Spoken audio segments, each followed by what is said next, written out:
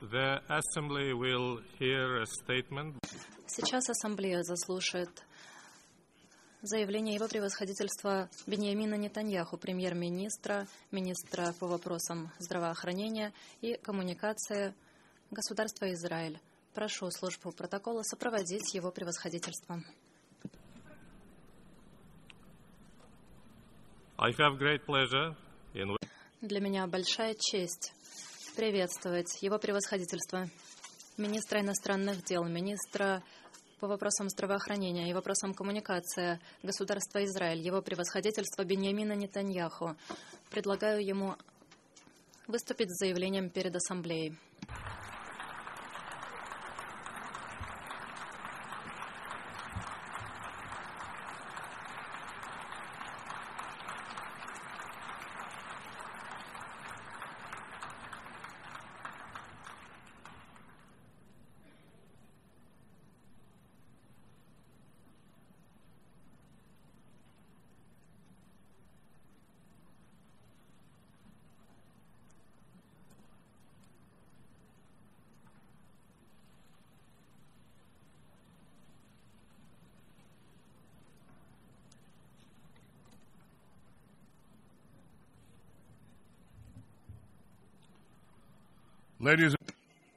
Дамы и господа,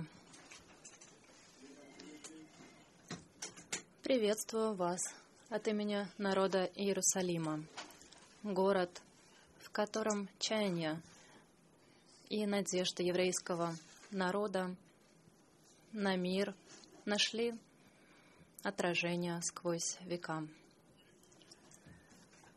31 год назад – когда посол Израиля при Организации Объединенных Наций, это был я, я выступал с этой самой трибуны. В тот день я выступал против резолюции, выдвинутой Ираном, о том, чтобы изгнать Израиль из ООН.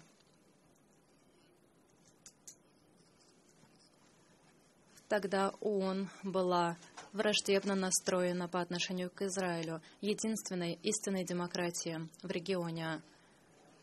Тогда некоторые отрицали единственное государство для еврейского народа, отрицали ему право среди семи наций. Я с гордостью заявляю о том и прошу вас оставить свой фанатизм у порога. Более три десятилетия спустя в качестве премьер-министра Израиля я вновь имею честь обращаться к вам с этой трибуны. Для меня эта честь всегда сопровождалась более высокой степенью ответственности, связанной с тем, чтобы говорить правду. После того, как я выслушивал мировых лидеров на протяжении трех дней о том, как они высоко оценивают ядерную сделку с Ираном, я хочу начать свое выступление со слов. Дамы и господа, прошу вас оставить свой энтузиазм у порога. По сути, эта сделка не делает мир более вероятным. Она разжигает агрессию Ирана при помощи миллионов долларов и с отмены санкций. Наоборот, она делает более вероятной войну. Посмотрите на то, что сделал Иран последние полгода.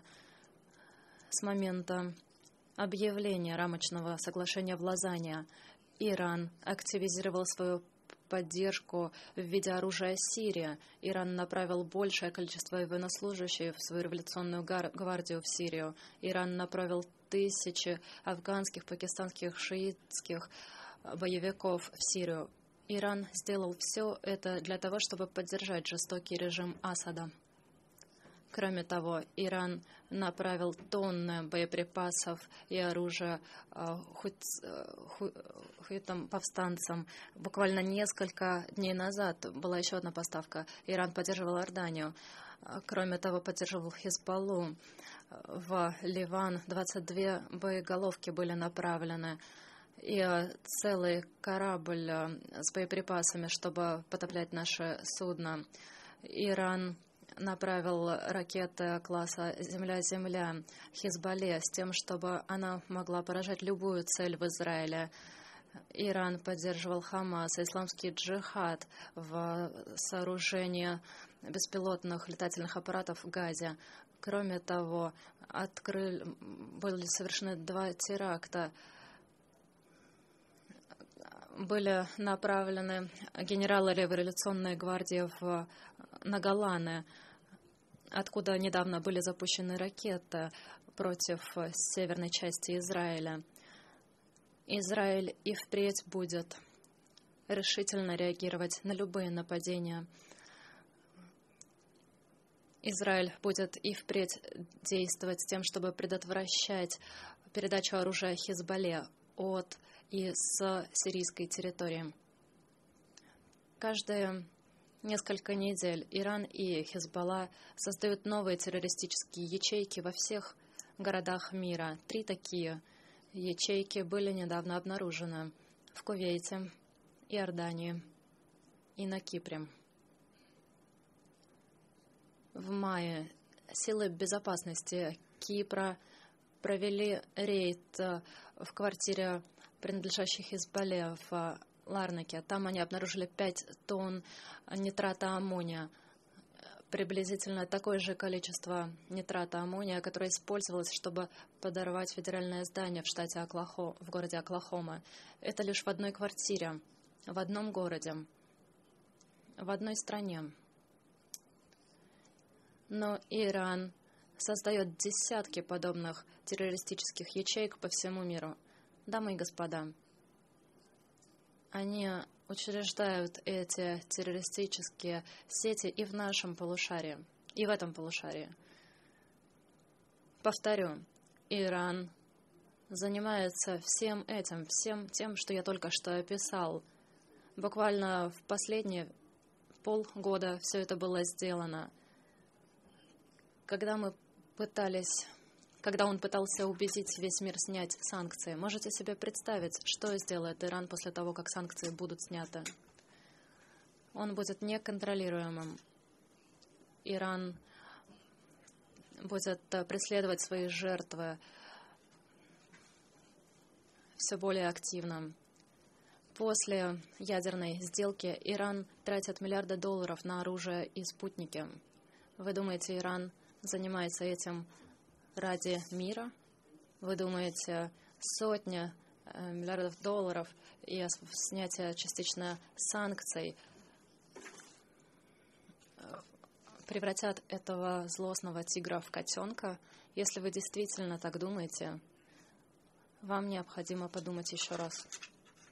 В 2014 году президент Раухани начал так называемую наступательную операцию. Два года э, спустя Иран э, казнил еще больше политических заключенных, э, провел эскалацию своей агрессии и быстро распространил террористическую сеть. Говорят, что действия говорят громче слов, но в случае Ирана слова звучат так же громко, как и действия. Просто послушайте э, заместителя командующего революционной гвардии. Вот что он сказал в феврале, цитирую. Исламская революция не знает географических границ. Он хвастался тем, что Афганистан, Ирак, Ливан, Сирия, Палестина и Йемен входят в число стран, которые, как он сказал, завоеваны Исламской республикой Иран. Конец цитата. Он использовал слово «завоеванным». Тем из вас, кто считает, что сделка, заключенная в Вене, заставит Иран изменить политику, хочу сказать, послушайте, сказал, сказал лидер в Иране через пять дней после принятия сделки, цитирую, Наша политика в отношении высокомерных Соединенных Штатов не изменится. США, как он заявил, и впредь будут оставаться врагом Ирана. Если дать а, Мулу больше денег, то будет а, больше репрессий а, в Иране и более активная агрессия за пределами Ирана. Как лидер страны, которая каждый день защищается от растущей агрессии Ирана, я хотел бы, чтобы я мог черпать успокоение в том, что данная сделка остановит ядерную программу Ирана, но я не могу на это надеяться, поскольку это не произойдет. Данная сделка накладывает определенные ограничения на ядерную программу Ирана. И абсолютно верно, ибо международное сообщество признает, что Иран чрезвычайно опасен, но здесь есть уловка по этой сделке. Если Иран не изменит свое поведение, и, по сути, если он даже станет э, еще более опасным в ближайшие годы. Но самые важные ограничения будут автоматически сняты к 10 и 15 годам. Это поставит э, исламский режим э, за несколько недель до приобретения целого арсенала ядерных бомб.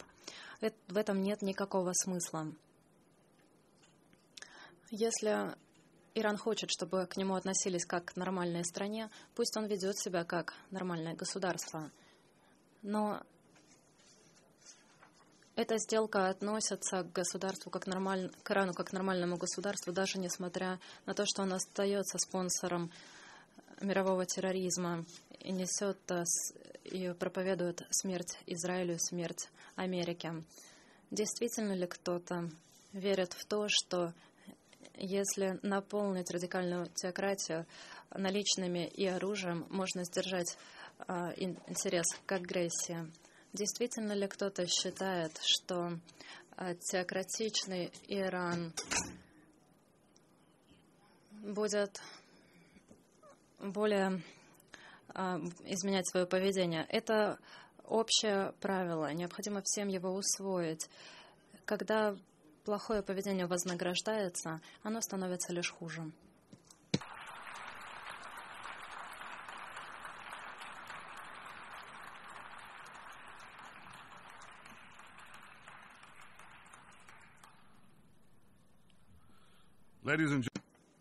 Дамы и господа, я давно говорила о том, что величайшая опасность, нависшая над нашим миром, это сочетание воинствующего ислама с ядерным оружием. И я глубоко обеспокоен тем, что ядерная сделка с Ираном станет своего рода брачным свидетельством о заключении брака между этим э, союзом. Я искренне сочувствую тем, кто считает, что данная сделка – оптимальный способ заблокировать путь Ирану к ядерной бомбе. Но самый важный, наименее усвоенный урок заключается в следующем. Благие намерения не предупреждают худших последствий и результатов. Большинство полагает, что данная ядерная сделка с Ираном – очень плоха. И что еще больше усложняет ситуацию? Так это то, что мы видим, как весь мир празднует заключение данной сделки. Россия приветствует и ведет деятельность с режимом, который открыто заявляет о своем намерении уничтожить нас. Генерал-майор Сален Хи, командующий иранской армией, на прошлой неделе заявил следующее. Цитирую. «Мы уничтожим Израиль. Мы рады тому, что мы находимся на передовой по выполнению приказа главнокомандующего уничтожить Израиль. Конец цитаты. А что касается самого главнокомандующего, через несколько дней после объявления ядерной сделки он опубликовал свою последнюю книгу. Вот, я ее продемонстрирую. В ней 400 страниц На них подробно описан его план по уничтожению государства Израиль. В прошлом месяце Каменеил вновь заявил о своем намерении перед высочайшим органом Ирана, Ассамблеей экспертов. Он опять же говорил об Израиле, где проживает более 6 миллионов евреев. Он обещал, цитирую, Израиля больше не будет через 25 лет. Конец цитаты.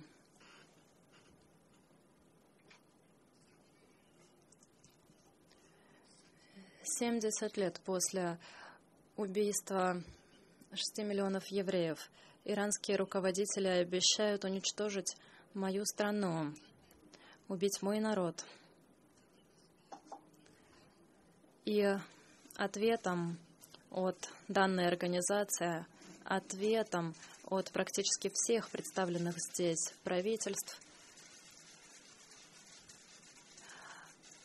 было абсолютное молчание, полная тишина, оглушительная тишина.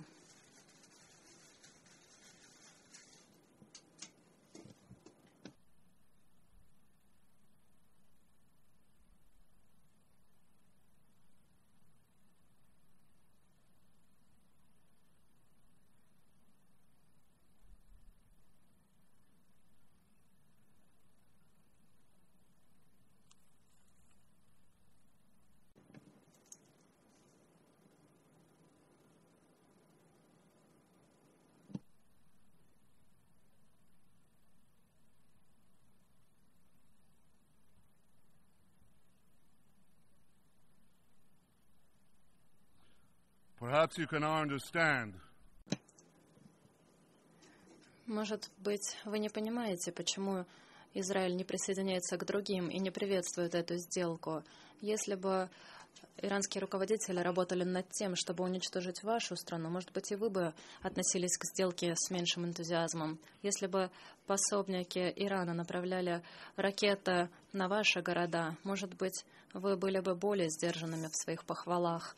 Если бы эта сделка начинала ядерную гонку в ваших странах соседних с вами, может быть, вы менее охотно праздновали бы данное событие. Но не думается, что Иран — это опасность, стоящая лишь перед Израилем. Помимо агрессии Ирана на Ближнем Востоке и международного терроризма, Иран также создает межконтинентальные баллистические ракеты с единой целью — чтобы они переносили ядерные боеголовки. Помните о том, что у Ирана уже есть ракеты, которые могут достичь э, Израиля. То есть межконтинентальная баллистическая ракета, которая э, разрабатывает Иран, они предназначены не для нас, а для вас, для Европы, для Америки, для того, чтобы проводить массовое уничтожение в любой момент времени, в любом регионе. Дамы и господа,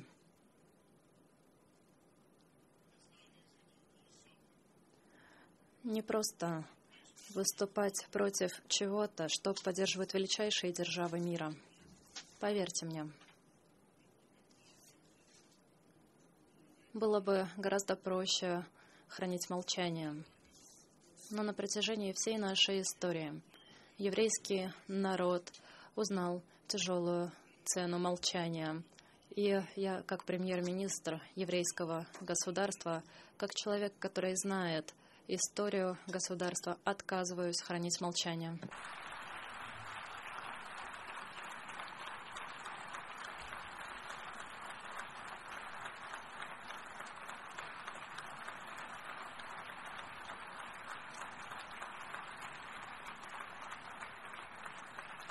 I'll say it again. Хочу повторить.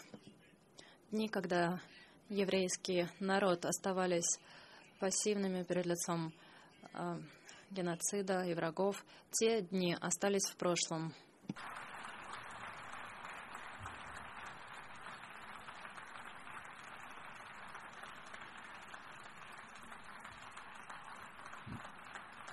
Not be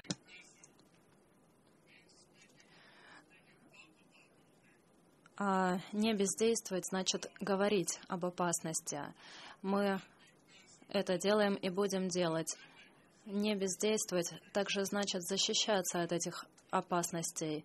Мы это делали, делаем и будем делать.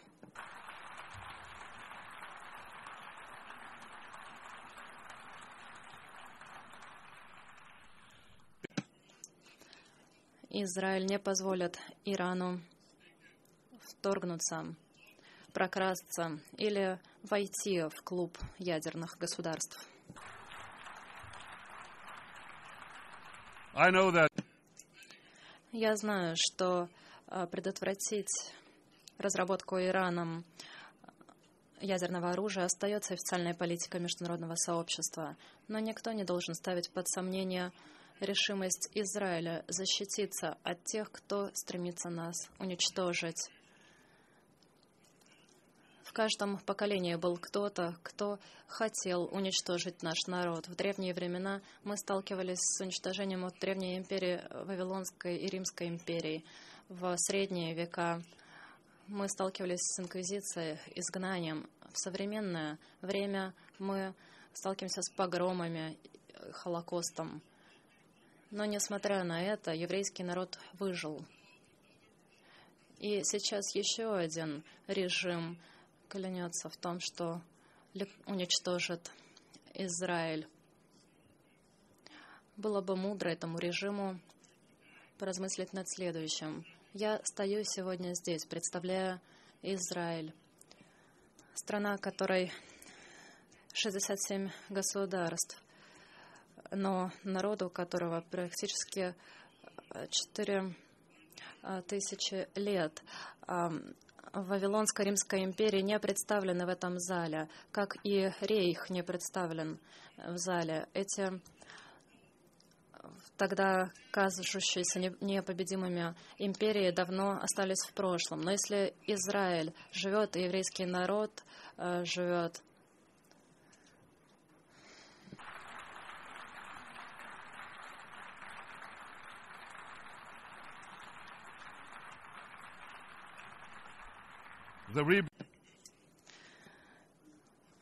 Возрождение Израиля — это подтверждение несокрушимого духа моего народа. Еврейский народ э, многие поколения мечтал о возвращении э, на родную землю. Даже в самые темные времена, а таких моментов было много, даже в самые трудные часы мы никогда не отказывались от надежды, возродить нашу вечную столицу Иерусалим. Создание Израиля позволило реализовать эту надежду. Это позволило нам жить в качестве свободного народа на своей древней родине. Это позволило нам принять евреев, пребывающих с четырех сторон света в поисках убежища от преследования.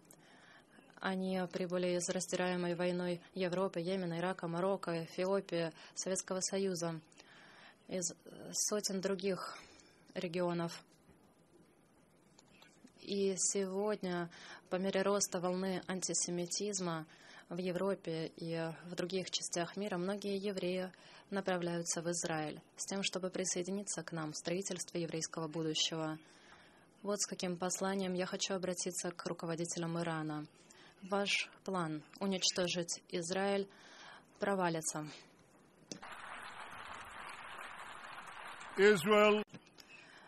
Израиль не допустит, чтобы какая-либо сила на земле ставила под угрозу его будущее. Вот мое послание всем представителям стран.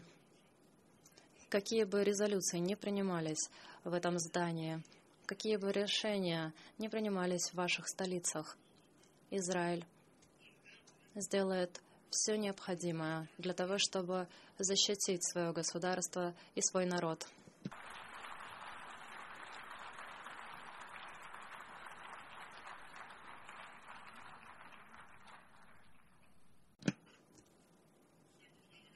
Уважаемые делегаты, сейчас, когда данная сделка с Ираном была заключена, надеюсь,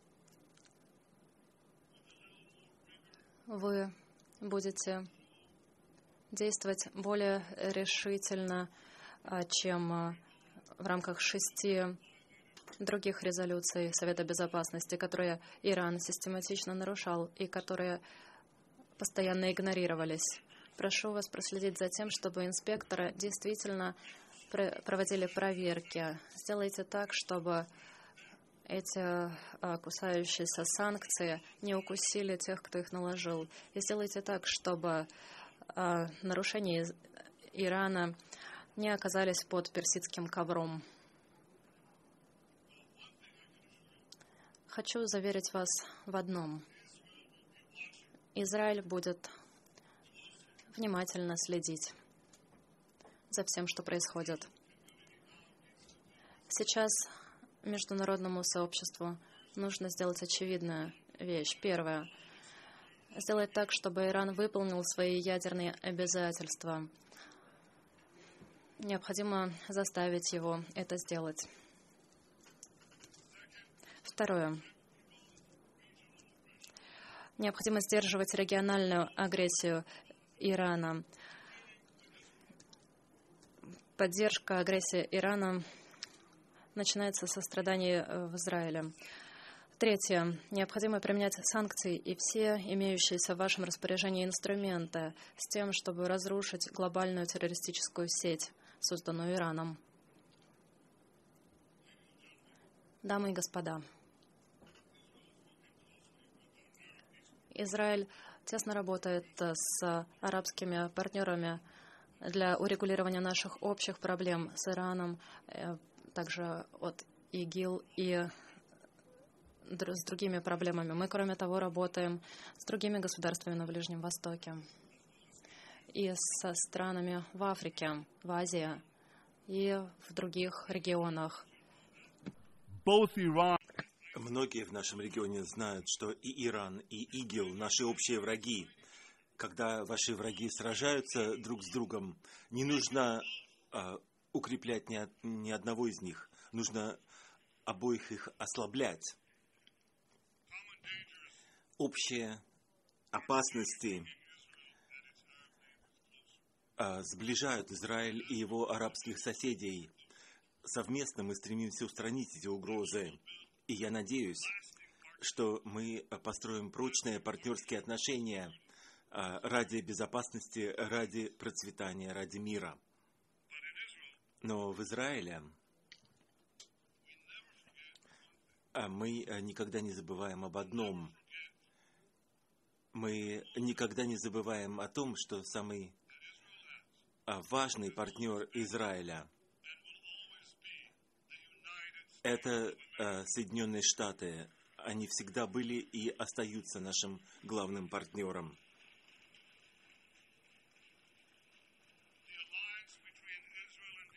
Союз э, Израиля и Соединенных Штатов непоколебим.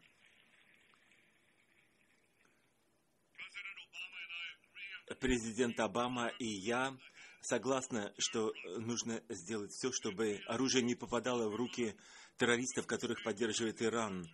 Нужно помешать э, Ирану дестабилизировать страны на Ближнем Востоке.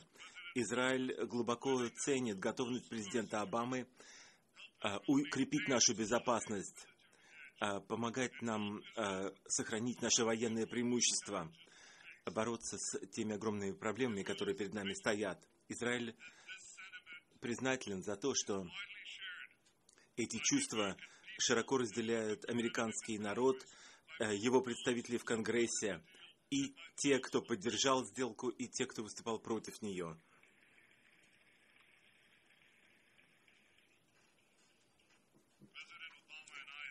Президент Обама и я э, заявляли, что э, наши различия по поводу ядерной сделки – это как споры в семье. Но у нас нет никаких разногласий в том, что касается необходимости э, совместными усилиями обеспечить наше общее будущее. И это будущее может быть великолепным. Израиль, как никто другой, может реализовать обещание 21 века. Израиль – мировой лидер в науке и технике, в киберпространстве, в программном обеспечении, в сельском хозяйстве, медицине, биотехнологиях и во многих других областях, где мы видим революцию благодаря изобретательности, новациям израильтян. Израиль – это нация нововведений и новаций. Израильское ноу-хау распространяется по всему э, миру. Это в ваших компьютерах, микропроцессорах, умных телефонах, когда вы отправляете э, сообщение по телефону, ведете машину, э, когда вы работаете на ферме, занимаетесь орошением ваших культур. Это в ваших университетах, когда вы изучаете работы по экономике, по химии, которые получили Нобелевские э, премии. Это э, в ваших лекарствах, которые используются для лечения э, болезни Паркинсона. Это на ваших тарелках, когда вы едите мини-помидоры, которые были выведены в Израиле. Мы гордимся большими успехами нашей страны за такое короткое время – мы гордимся тем, что наша маленькая страна вносит такой огромный вклад в прогресс всего мира. И тем не менее, прогресс нашего народа, мечты э, нашего народа, о которых говорили великие пророки Библии, эти мечты будут полностью реализованы только когда мы добьемся полного мира. Э, Ближний Восток опускается в хаос – и э, мирные соглашения Израиля с Египтом, с Иорданией – это э, основа стабильности. Израиль готов делать все для достижения мира с палестинцами также.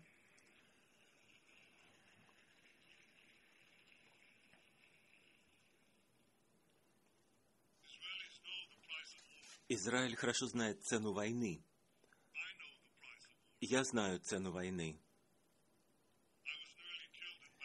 Э, я почти был убит э, в бою. Я потерял многих своих друзей. Э, я потерял моего любимого брата Йони. Те, кто знает цену войны,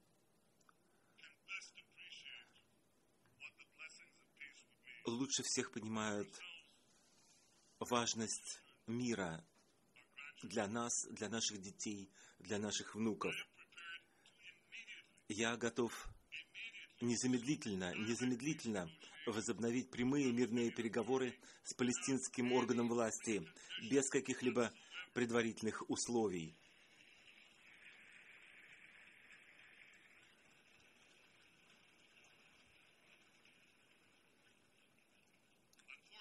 К сожалению, президент Аббас заявил вчера, что он не готов это сделать.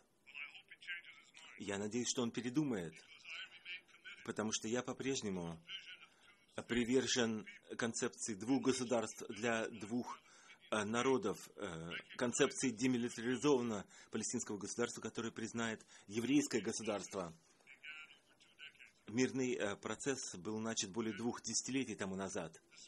И тем не менее, несмотря на все усилия шести премьер-министров Израиля, Рабина, Переса, Барака Шарона, Алмерта и э, мои усилия.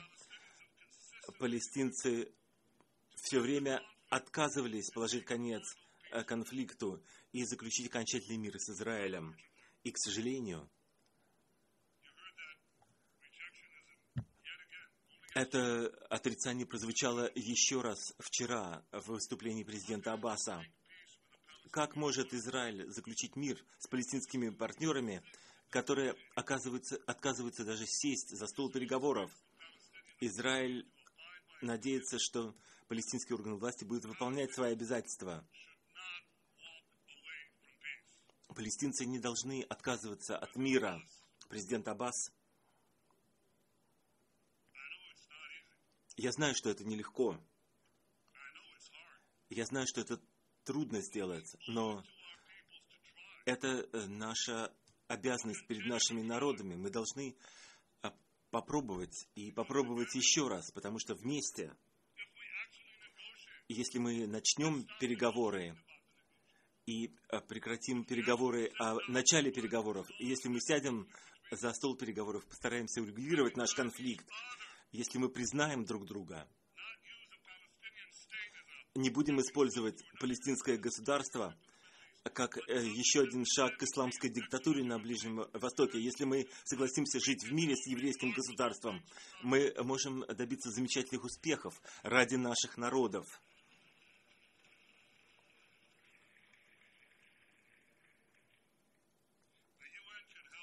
Он может помочь э, продвинуться вперед в деле мира, если он поддержит прямые переговоры без каких-либо предварительных условий, переговоры между нашими двумя сторонами.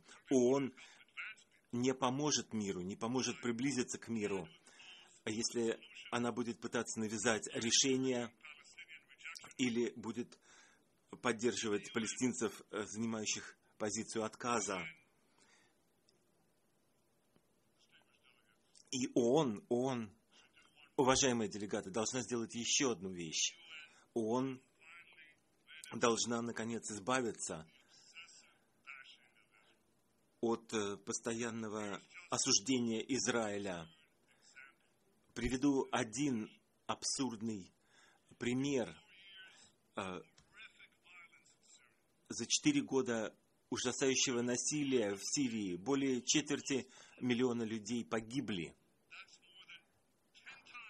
это более чем в 10 раз больше, в 10 раз больше, чем число израильтян и палестинцев вместе взятых, которые погибли за целый век конфликта между нами.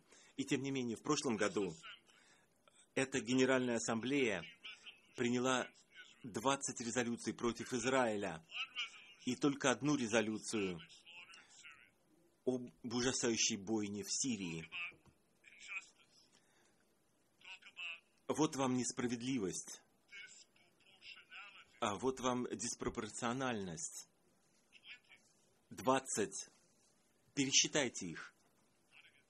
И только одна против Сирии. Честно говоря, я не удивляюсь этому.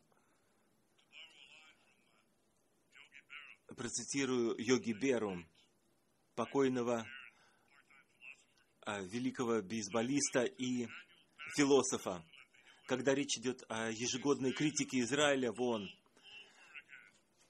это просто-напросто э, дежавю вновь и вновь.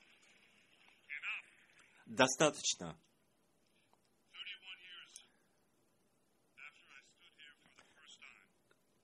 Тридцать один год тому назад я впервые выступал здесь, и сегодня я вновь задаю вопрос, когда, наконец, ООН положит конец своему антиизраильскому фанатизму, когда, наконец, он э, прекратит критику Израиля, прекратит заявлять, что Израиль угрожает миру и начнет помогать Израилю добиваться мира. И тот же вопрос нужно задать руководителям Палестины. Когда вы начнете сотрудничать с Израилем ради мира и примирения, когда вы прекратите критиковать Израиль, подстрекать к ненависти и насилию, президент Аббас, вот с чего вы могли бы начать. Прекратите э, лгать о намерениях Израиля в том, что касается храмов. Мы готовы сохранять статус-кво в этом плане. То, о чем э, должен заявлять э, президент Аббас, это э, действия э, исламистов, которые Э, размещают боеприпасы в мечети Алякса, мешают евреям и другим посещать священные места. Вот реальная опасность.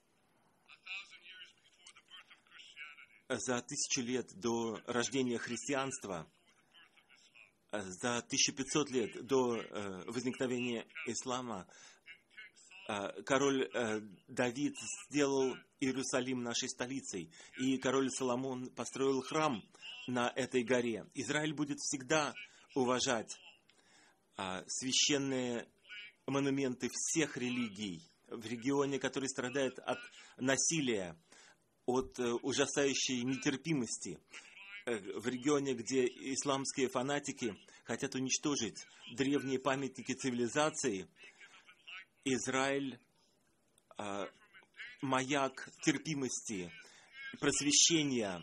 Именно Израиль обеспечивает безопасность а, священных памятников.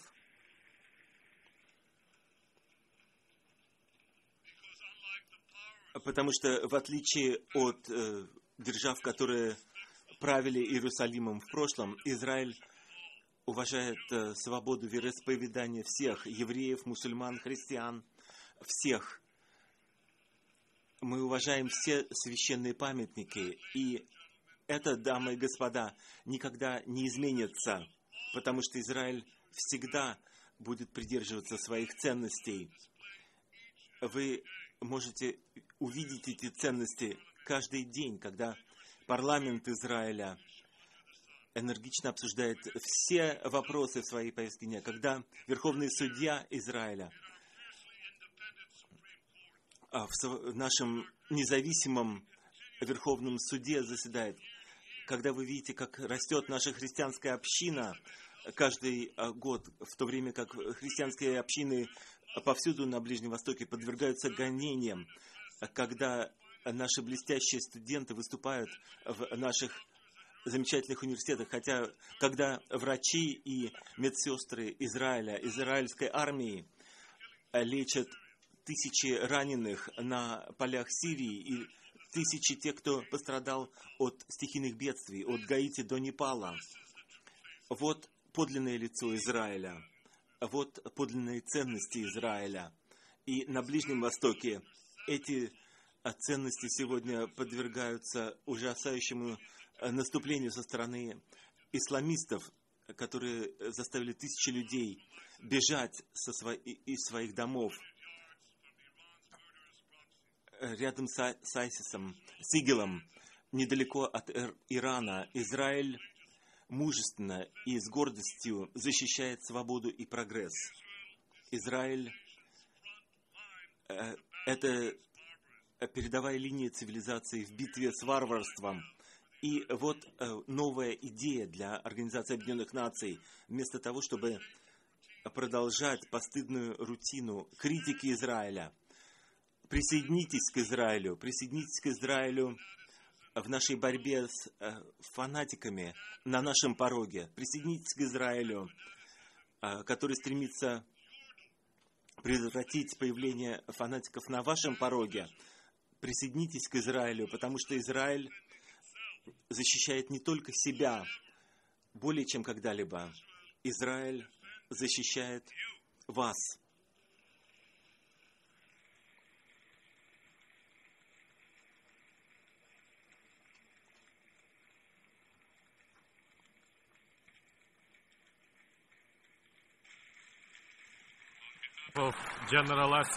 От имени Генеральной Ассамблеи я хочу поблагодарить премьер-министра государства Израиль за его заявление. И хочу попросить э, представителей протокольного